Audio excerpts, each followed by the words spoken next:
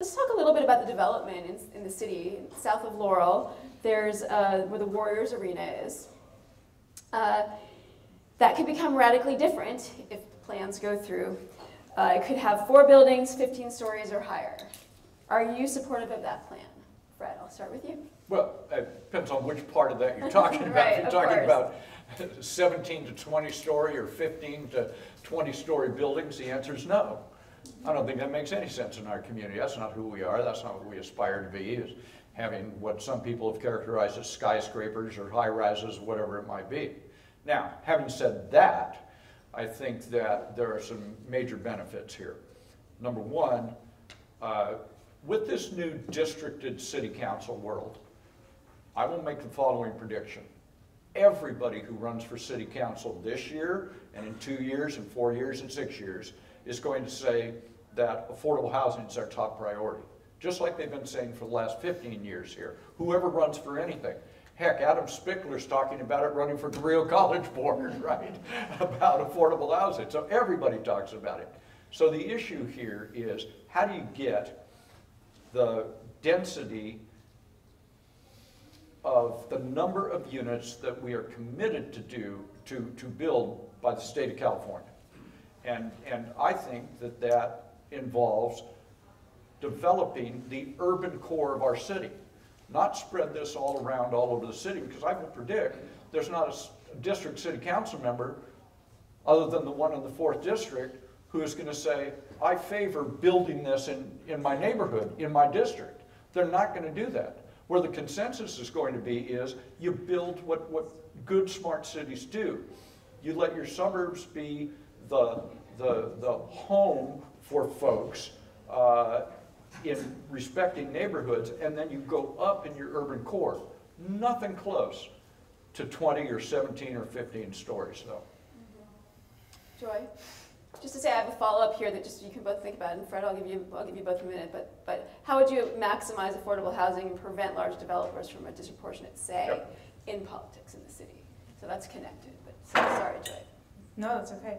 Um, I actually, so for the downtown expansion plan, I think that that project should be a community-led project. So like I said before, when we develop in a neighborhood, and it is an existing neighborhood that's mostly renters, low-income people, people who don't have English, English as their first language, a really vital community center called the Hub for Sustainable Living, a Chinese restaurant, a county building with, um, with, with um, like, you know, low-income transitional housing, um, and, and other affordable places. So I think as we develop this neighborhood, we shouldn't steamroll it with, with what developers or the city planners think that the, the neighborhood needs. It should be coming from the neighborhood and with the neighborhood and respect the diversity that's already there. And um, I actually disagree with you. I think that density needs to happen in various parts of the city. It's already traffic is incredibly challenging in that downtown area, so we need to be looking at infrastructure and we can have hubs in different parts of the city, which we already have. You know, we've got a mid- Midtown has a commercial area, Mission Street on the west side. We have, I know, we ha- we have areas that we can spread around the density. We're not going to fit. We're not going to make our housing requirements for affordable housing if we try to cram it all in downtown. I don't think. Do you want to respond to that, Fred, and this question about developers as well, or? no? Oh, yeah, I didn't answer that. Well, both, like, it's okay. Would you like to answer that? the? Question about developing is how would you maximize affordable housing, prevent large developers from having a disproportionate say in our politics? How does, say it, just say it again, So, Jody. how would you maximize affordable housing and prevent large developers Oh, having a oh, disproportionate okay. say in Oh, politics? Oh, fair enough, fair enough. Uh, I think there's uh, multiple paths on affordable housing. We have nonprofit housing developers. Uh, We have got a fair amount of money from both the state and federal government available to assist uh, in that. Uh, I believe that in Santa Cruz, that it is already proven through Measure H that voters will provide a funding source for affordable housing. They will do that. Now, whether they adopt the empty home tax, uh, that is a method for getting there, or they say no to that and yes to a bond measure in 2024, similar to what we did with Measure H. Which is what I you think hope to that the community forward. is very willing to do that. And that, that bond measure is what you're hoping to put forward, correct? If, if uh, elected? in the event that that, that there's not a funding there's not- source locally, Measure N pass. then I think negotiating in public with the community for the size and shape of that bond so that it addresses the brick and mortar side of homelessness, which is, I believe, the city's primary responsibility on that issue. And secondly, on the affordable housing components, so that we can in fact maximize the number of affordable housing units that are going to be built in pursuit of- our legal RHNA obligations. We never have trouble meeting the market and the moderate income. It's always the very low and low income. And to me, that's the way to get there. Thank you. Joy, did you want to respond to that? Yeah, it's a two-part question, um, and I'm gonna answer it backwards. So, which I, did you answer this part? Getting, make, make, getting, um, real estate money out of politics? Was there a question can- there well, about it was about getting real estate developers, but money? you can take it Developers, that way. developer money. You can take it that way. Developer slash real estate money. Um, so I'll answer that first. And I think one thing we desperately need is campaign finance reform. And I think that we should have not just voluntary spend- expenditure limits, but mandatory ones, and with the horizon of even publicly financed campaigns, so that we really have a level playing field. If we want to increase diversity in our representation, what are all the ways we can do that? Districting, I, I'm very skeptical that that's going to happen. Campaign finance reform is huge. We also have Santa Cruz Together, our local super PAC, which is raising and spending multiple election years in a row tens of thousands of dollars. That totally disrupts our environment, uh, our electri- uh, our election process. It disrupts democracy. So in terms of um, adding to our affordable housing, I believe progressive taxation, like the empty home tax, like an increased real estate transfer tax, those things can give us millions of dollars. If we already had a real estate transfer tax, the two sales of Hilltop Apartments in the last few years, $55 million, they, Goldman Sachs, flipped it to the UCSC Regents for $117 million. We could have so much money to buy buildings that already exist, to dedicate to affordable housing, to put into an affordable housing land trust, to really, you know, to have more public ownership of our housing. Thank you. Did you want to say anything to that? Okay. Okay. Uh, Probable recession. Managing a city budget is hard when there is money, but when there's no money, when there's less money, it's even harder. Uh, The city council is in the process of approving a 12% raise for uh, city workers. Ha- Have you spent time looking at the budget? And if so, where do you see places that we are over or underspending? And faced with a shortage, what would you cut first? Well, I think there's several issues embedded in that. First of all, the, uh, the agreement to which you made reference uh, has been rejected by the SEIU rank and file. Uh, I am very proud to have the endorsement of SEIU and uh, every other labor organization, save the California Nurses Association, uh, who has made an endorsement in this uh, campaign. Very proud to have the, the support of line level workers. I think first and foremost, we do need to pay and compensate in all ways our public employees, who are the ones, we know this obviously, who deliver the services. We're a service delivery government. And so we need to make sure that we pay folks and compensate them in all ways so that they can live and work in the same community. I'm not the first person that's ever said that, but that is what's on the table as far as I'm concerned at this. So we are going to give a pay raise of some- of Roughly. some sort, yes. Uh, even with that, even with that, many of the workers, as Joy has po- pointed out, they're actually homeless city Right. workers. Yeah. And, uh, you know, twelve percent raise may help some, out of that situation, but it's not gonna help everybody. So how are you of gonna help those people, right, as a follow-up, and I'm sorry, I'm messing up the time, Blair, but, but, I mean, we hear that all the time, that city workers are over, underpaid, overworked, it's really hard to get people into this community to come to, to do service work. So how are we gonna, how are you gonna sustain, sustain a working class in Santa Cruz? It's a wage and compensation issue. It's the city council's in charge of this, not the city manager, not the risk managers, not the personnel department. The mayor and the city council are in charge of that. And that's what leadership looks like, is saying, it may be without, I'm, you are assuming this without any other general fund revenue, is what you just said. Mm-hmm. So I'm gonna be very careful about that. Mm-hmm. I think what we've got on the horizon is two things. One is, I think we are teed up as a city to substantially increase some of the general revenue sources. Transient occupancy tax, there's a measure on the ballot, you know, that, which makes all kinds of sense in terms of who do you tax for that. So we have revenue sources.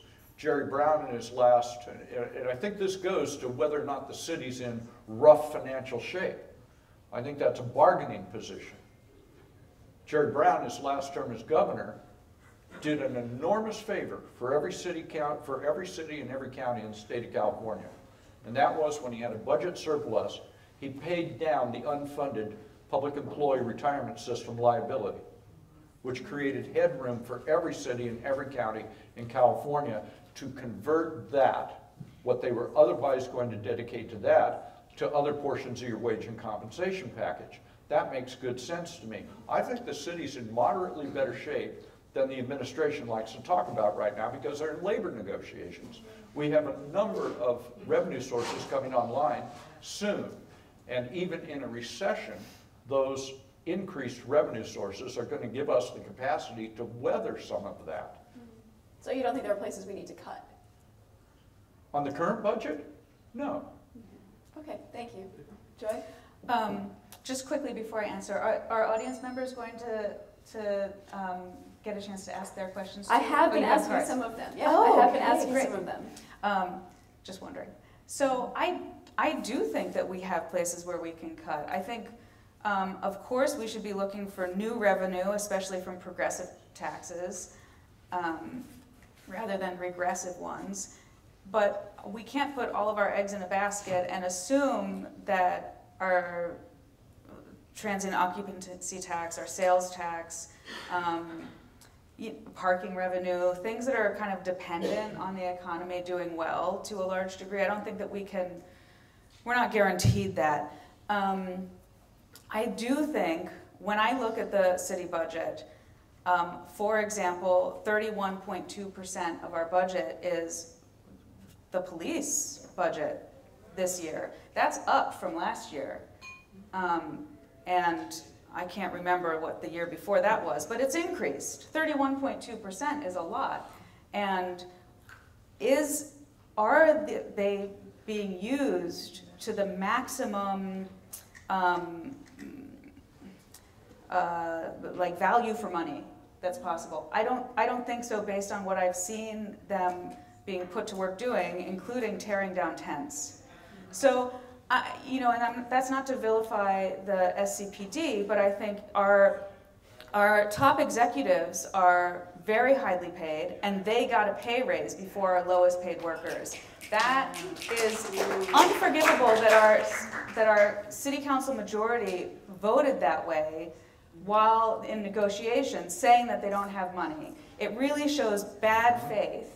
And, and that's why that's part of the strike is, an, is like a, an unfair labor practice strike.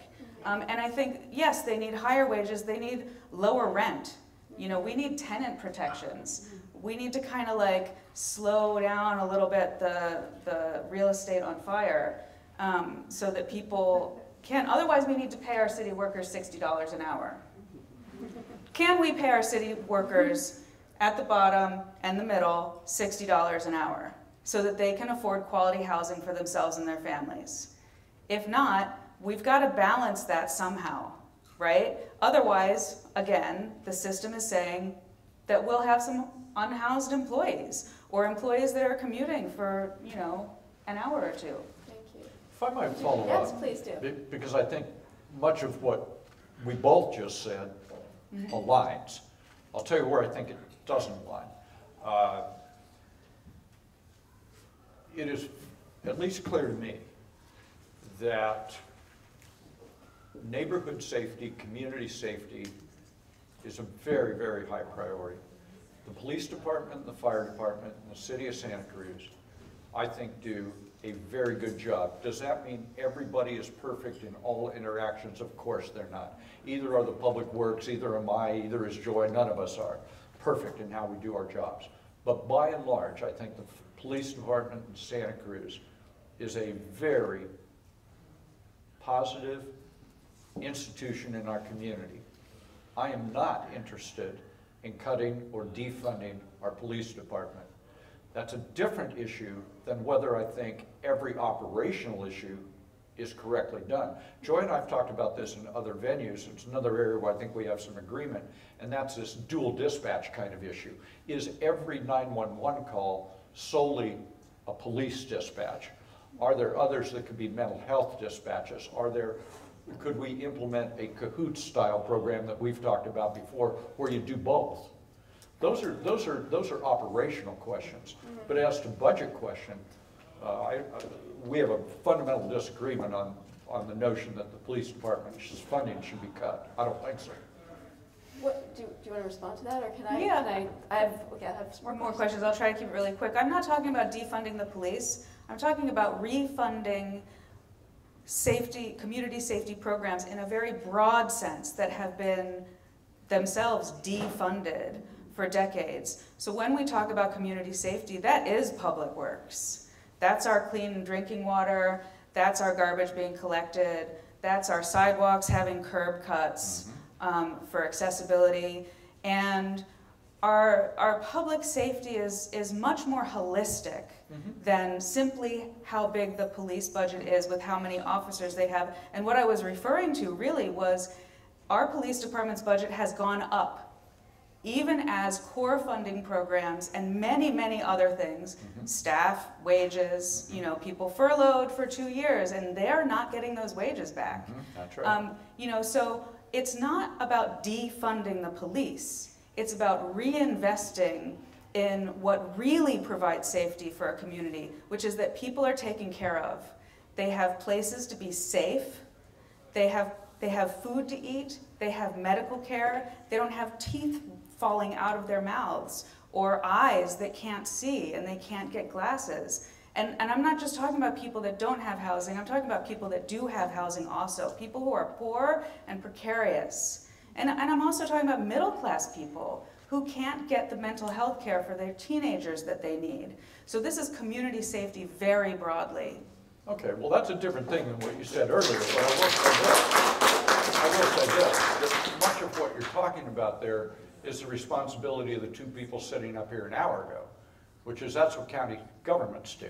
That's not what cities do. Uh, And, and, and I didn't raise it, you raised it, that you thought that when it comes to budgeting, you thought that their budget was too big in the police department. I disagree with that, so I think we have a fundamentally dis, fundamental Right. disagreement on this. Thank you. Well, let's, let's move on just for a minute. I do want to talk about um, fentanyl, which also deals with police. So Lookout did some reporting on this and discovered that there is this really um, large issue in our community, a lot of deaths among young people. It's a, it's a, it's a problem across the country. Um, It's often not discussed. We, um, do you think that there should be more of an effort to police the drug dealers and keep them in jail rather than booking and releasing them? What else would you do to address this public health concern? And I cannot remember whose turn it is to do it first. Matter? I'll go. I'll. Okay, Sure. jump in. Go Okay, ahead, go ahead, okay. please. Okay. Um, I want to distinguish here between smoking weed and selling weed and fentanyl. I mean, this is an entirely different world. Fentanyl is killing people. It is killing our homeless. It's killing youth. It's killing all kinds of people. There's no safe use of fentanyl. And absolutely, you come into this community and you're dealing fentanyl, and you're getting kids and homeless people and everybody else who, who may be susceptible to this, then absolutely, the criminal justice system should treat you with no mercy whatsoever.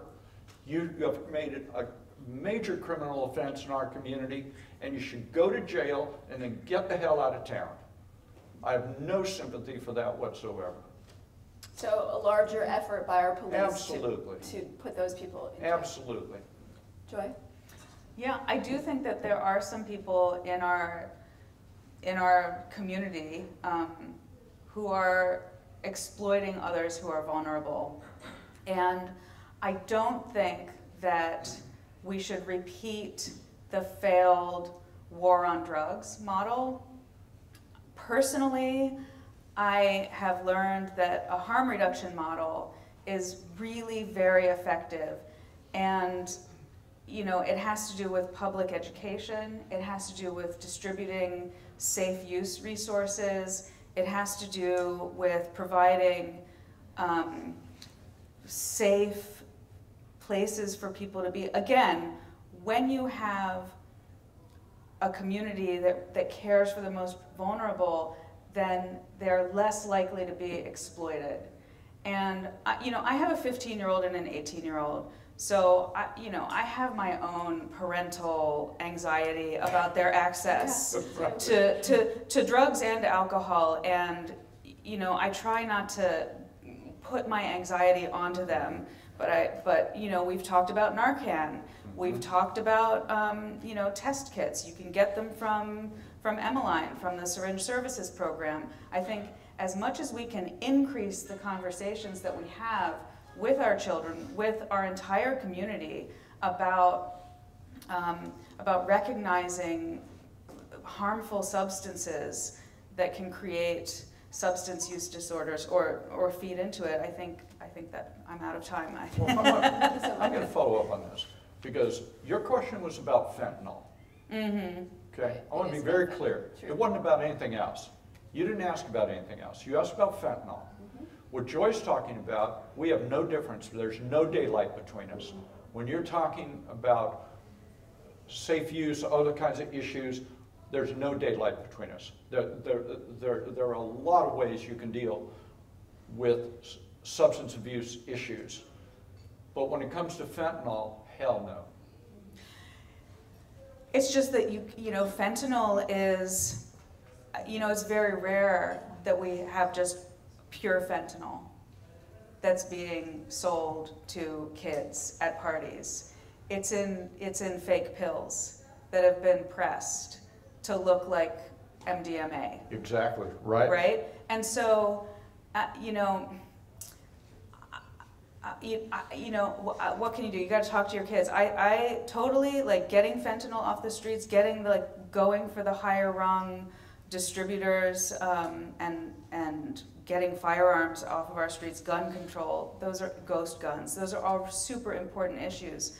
I just don't think that we should repeat the war on drugs kind of model because that has failed. I would say that there's, an- that again, we have no daylight between us. I don't think it is what was in the 80s and 90s called the war on drugs to say that fentanyl, there, we ought to have a war on fentanyl. And I don't mean just the folks at the top. If you're a street dealer or you're up at the top of this thing, you should all be busted and go to jail for a long time.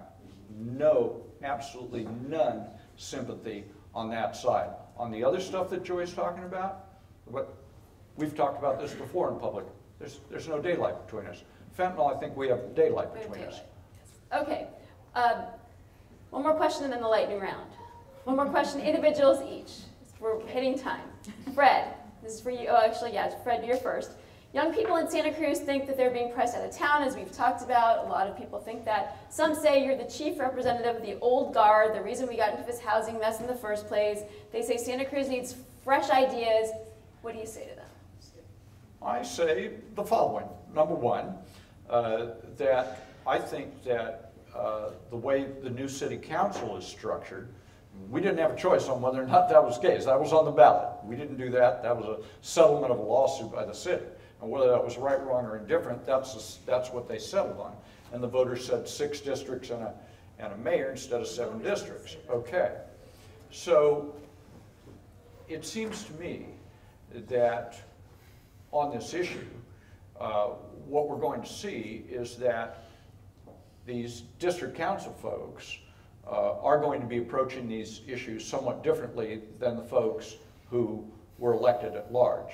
I think you're going to see a lot more focus in on community well-being, neighborhood well-being, and so on, because they're going to know their district so much better. What about you? Why are you, uh, the question is, you know, you, how are you, you know, are you the old guard or are you someone bringing new ideas, bringing new, fresh ideas? Oh, I've done nothing for 44 years in Santa Cruz but deal with new ideas. I don't, I don't, and I got to just say, uh, on behalf of my uh, gray-haired or no-haired colleagues, uh, you know, uh, I think a mix of folks in elective office is a really good idea. You know, Joy supported Bernie Sanders. Uh, okay, he's no kid, right? I supported Joe Biden. He's no kid. Uh, so I'm no kid. I don't pretend that. But I think that's different than whether or not you have new, fresh ideas, which I've been talking about all night tonight. Joy has new, fresh ideas. I don't think it's an age issue. Okay, thank you. And Joy, a lot of people say on the opposite that, as you mentioned in your intro, you don't have enough experience for the job, right? You can't just put on that astronaut suit and fly the spaceship. Right? you need to do something else. So what's your response to that? Yeah, I, you know, it's hard for me not to see this as a gendered question. As somebody, uh, as a, as a, a female identified person, as, as somebody born a woman, um, who for economic reasons largely chose, I mean, I love my kids, but it was really largely an economic choice um, because of the cost of childcare to stay home and be a stay-at-home mom.